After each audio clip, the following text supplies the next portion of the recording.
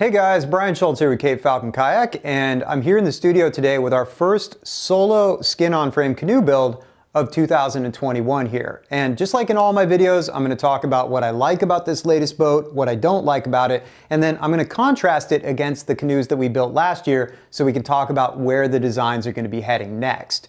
Now, we also just got a brand new drone, so I'm gonna be interspersing this with some really cool aerial footage and ground footage as well, hopefully just to make things a little bit more interesting while you listen to me talk. So anyways, quick bit of background just in case you're new here and you don't know what this is all about. Once again, my name is Brian Schultz. I have been a full-time skin-on-frame boat builder and boat building teacher for 20 years. I have a website called capefalconkayaks.com where I sell skin-on-frame video courses, plan sets, and there's a whole bunch of free resources there as well.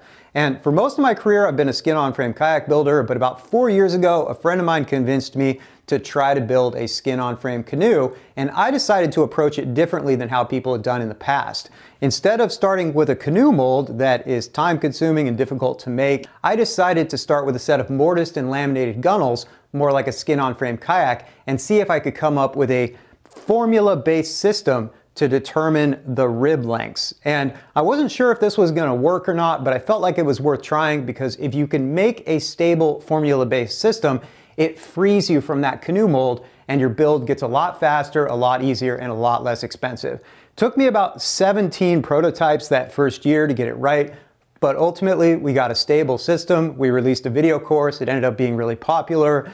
And then after that, it's just been a matter of iterating on that system to see how many different sizes and shapes of canoes I could get it to build. And it's definitely not a perfect system. There's things that it will do and things that it won't do. But I think overall, I've been really surprised by the versatility and the scalability of the process here. And that's really the cool thing about working with a mathematically based system is that because you can scale it up or down and because these particular canoes don't need to have any permanent thwarts, it means that we can nest them together like Russian dolls, which is great for storage and also for transportation. Now, additionally, I've come up with a sailing rig for this that is super simple. It stows nice and tight out of the way, but then it pops up in the bow whenever you want to catch a favorable breeze.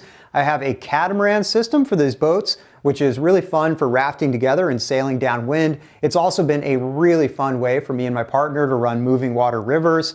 And then finally, this year, I released a rowing system for this, which is really easy to build, really fast to install, and mimics the rowing geometry of an Adirondack guide boat. So that's a roundup of the history here. Now let's start talking about this canoe, its design, and where the designs are headed in 2021. So my big design focus for 2021 is just going to be to continue updating our full-size canoe designs.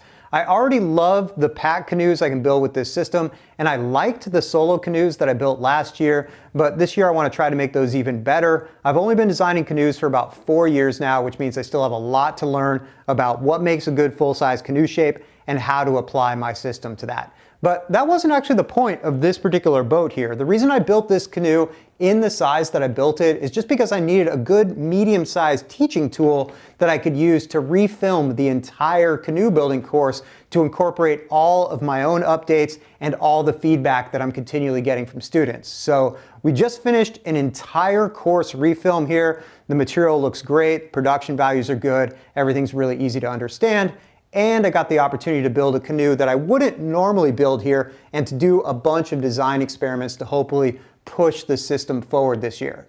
So what I ended up building here was a little bit of a hybrid canoe. This boat is 13 foot 9 inches long by 28 and a half inches wide. It's 10 and 3 quarter inches deep in the middle. It weighs 26 pounds with nothing in it and 30 pounds with the sail, the flotation, and the seat installed. And I didn't go into this trying to make the perfect sized boat for any particular use because I already know what that is for me. I'm 5'8", 165 pounds, and personally I like a pack canoe that I use with a double bladed paddle to be 27 inches wide, 10 inches deep, and about 13 foot 5 inches long. And I like a full-size solo single blade boat that you sit up on a seat to be 28 and a half inches wide by 12 inches deep by about 15 foot 3 inches long. And what I was curious about, because I was already just doing an experiment here, is what would happen if I blended those two boats together? And hybrid boats like this are always appealing because who doesn't want to have more versatility in a more compact package, but they're also risky because anytime you're trying to make something do too many things at the same time, you risk creating a boat that does no particular thing very well. So in a couple minutes, I'll actually talk about how that turned out and how it feels on the water and what I might do differently next time. But first, why don't we come in a little bit closer and I'll just talk about all of the new shaping and physical and construction details that I experimented with on this boat. So starting with the deck shape in plan view here, what I've been doing for the last couple years is building my solo canoes asymmetrically. So the widest point of the boat is about five inches aft of center, and that pushes more volume into the back of the boat. And the reason I've been doing that is just because my experience as a kayak designer tells me that that's gonna be a more efficient hull shape, and also it's gonna make the boat more controllable in challenging wind and wave conditions, especially when conditions are coming from the stern quarter.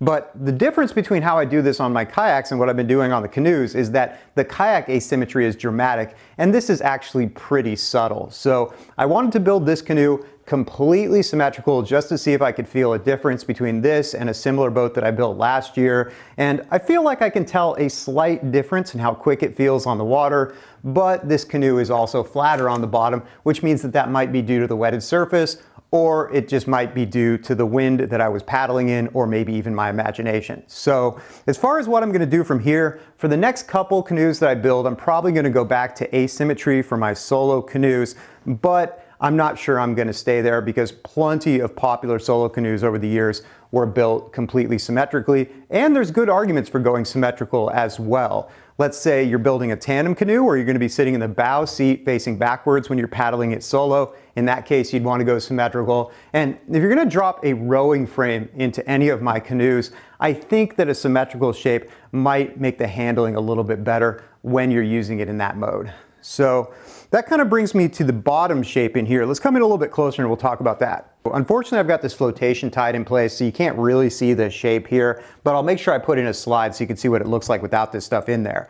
And the big rib experiment that I did on this boat was to push a bunch of extra volume into the formula to see how flat and how stable I could make one of these boats on the bottom here and whether that would create any problems with the system. And the good news is that it worked just fine. It had the intended result, but there are always trade-offs whenever you're changing the shape of a boat that much. The flatter you go, the more stable you're gonna be, but the slower the canoe is gonna be. So this is actually a lot flatter and more stable than I want for my own personal canoes because I like things to be nice and quick on the water, but it's nice because it shows me that if you want this kind of stability, you can get it using this system.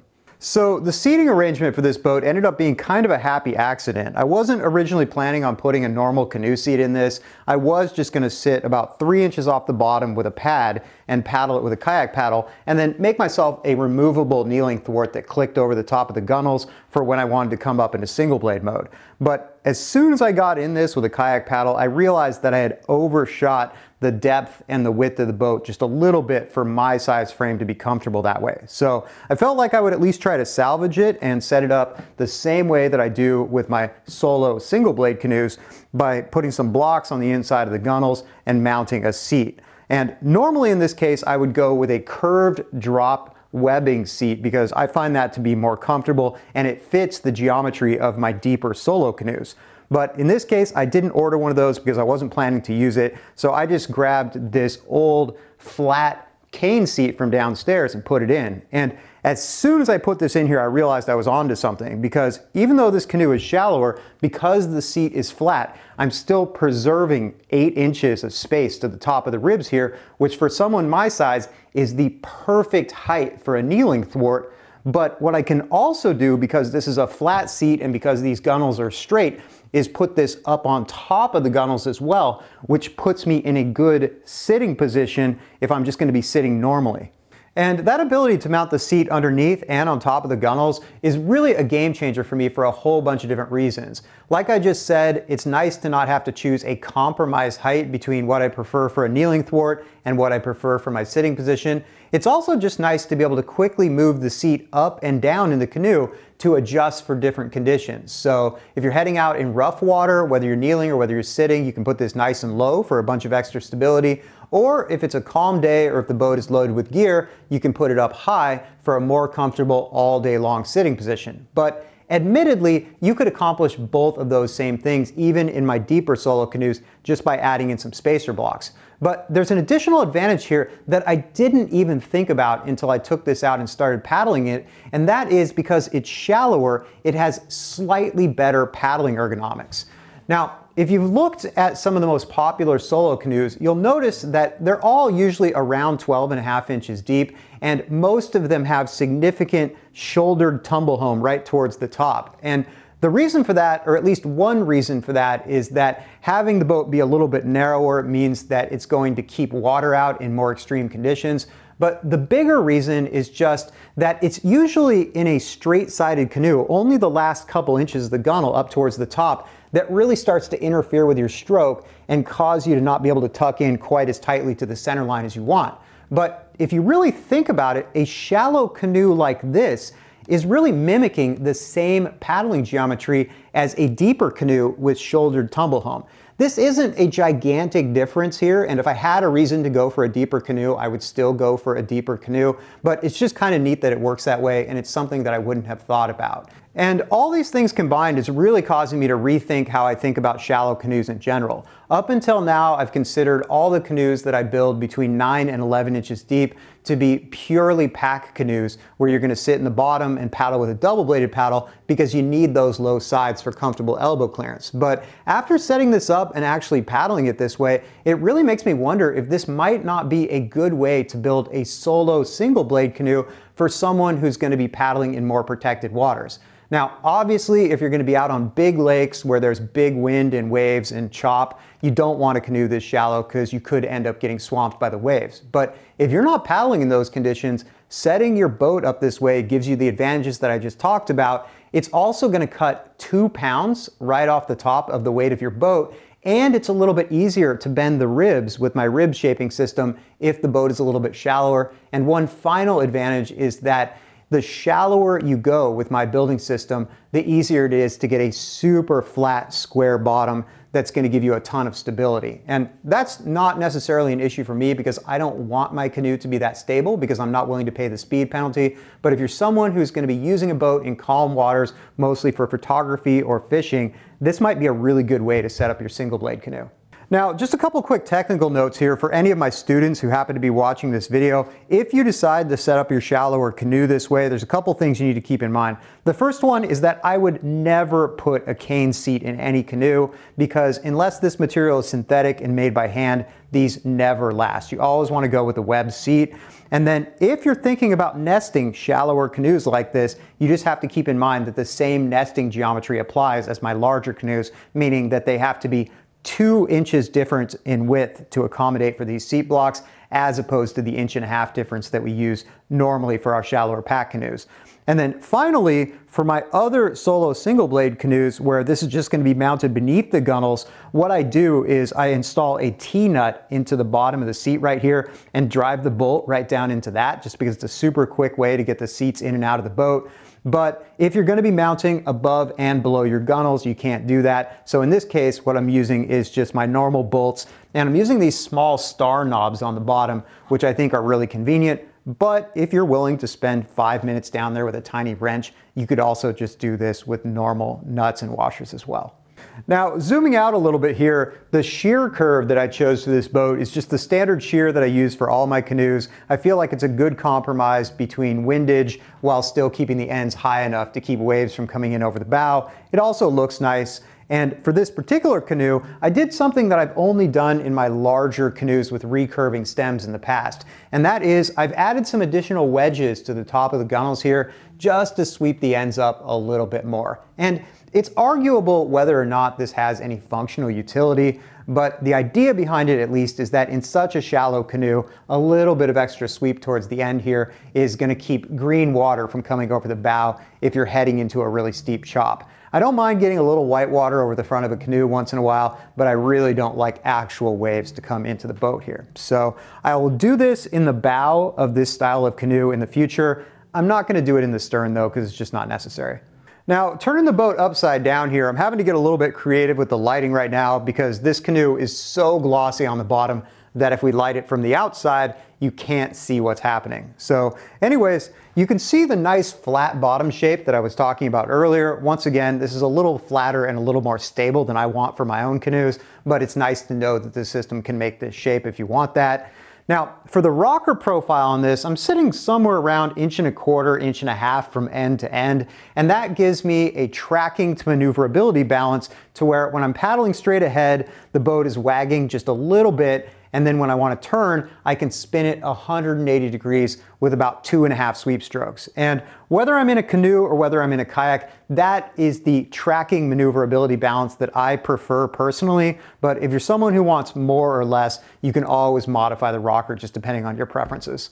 Now, another experiment I did on this boat is instead of using the 3 8 or half inch wide brass half oval stem bands that I've done in the past, I decided to protect the end here with a thin strip of Delrin plastic. And the appeal of Delrin in this application is that it's a little bit easier to work with. It is a lot more abrasion resistant, which means that at least in theory, it should give us better protection around the ends, and it ends up being a heck of a lot lighter.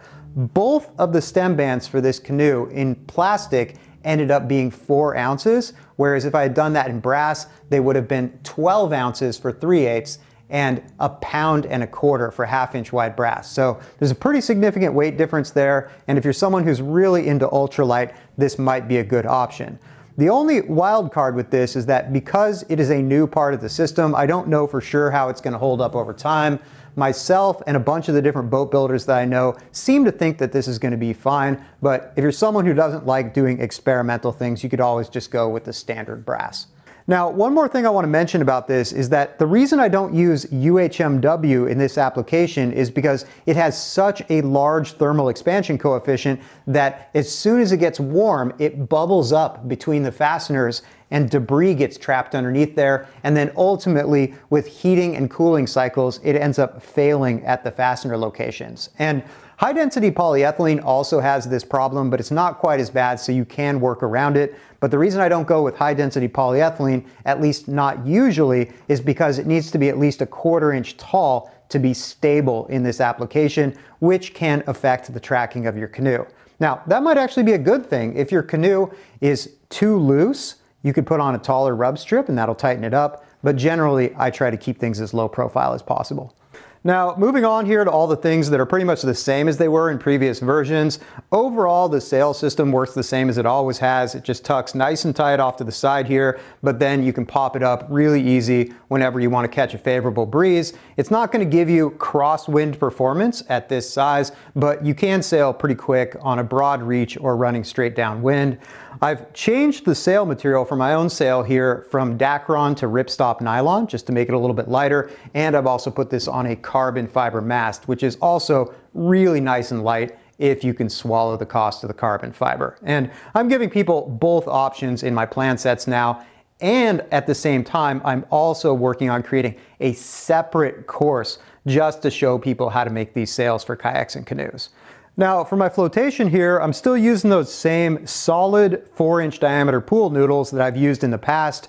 And this is not intended to be enough flotation so you can paddle a swamped canoe to safety. It's just enough flotation so you can turn a swamped boat on its side and it's naturally gonna dump out most of the water. It just makes all your normal rescues a little bit easier. And then just like in any canoe, if you need additional flotation, you can always lace that into the ends of the canoe. And the nice thing about a skin boat is all these ribs make those attachments even easier.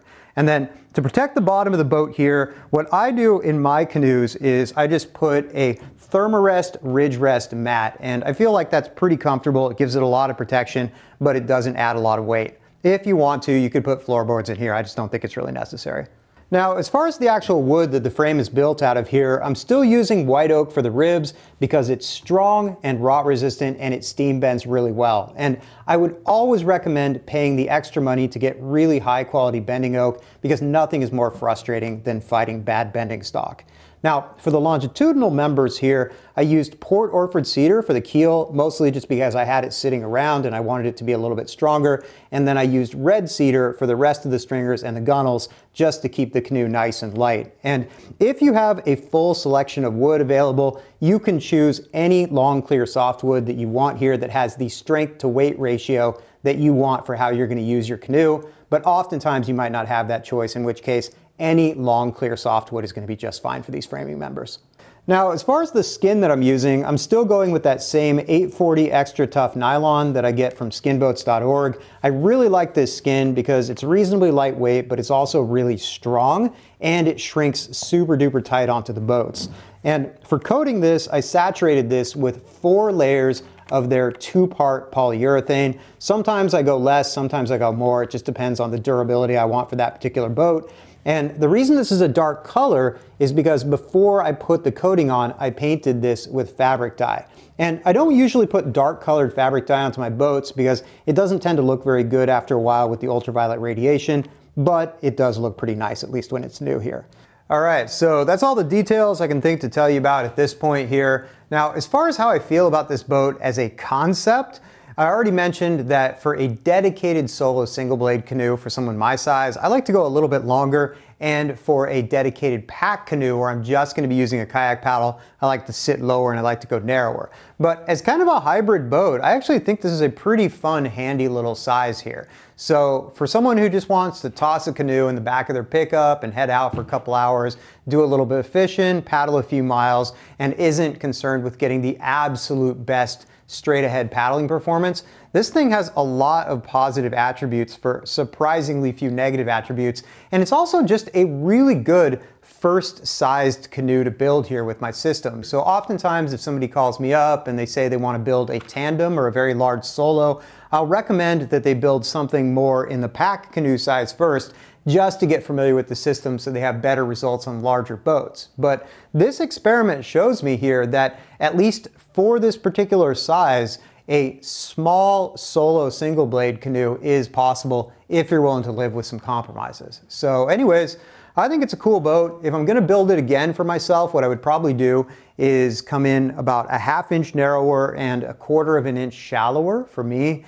and I would make it asymmetrical just like the canoes that I built last year. So anyways, that is the first canoe for 2021 here. I'm really excited about the directions that I'm hoping to go this year. We've got a lot of really interesting things coming up here on the channel. Also, if you're interested in learning more about my system and seeing the experiences of other people building this way, check out our website and click where it says student builds. And on that page, you're gonna see a map of all the different student builds all over the world right now. And if you scroll down, you can choose all the different types of skin boats that I make and look at the blogs for people that are building these boats. And if you're someone who doesn't mind spending a little bit of time uploading a few pictures and some text of your build, that's a great way to save a little bit of money because we offer a discount for anyone who's willing to put up their build on our site. It's also just been a really cool way for paddlers all over the world to connect with each other and share building tips and material sources. So